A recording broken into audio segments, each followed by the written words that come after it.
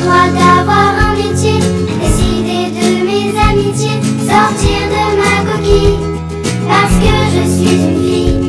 J'ai le droit d'aimer qui je veux, d'avoir un enfant si je veux.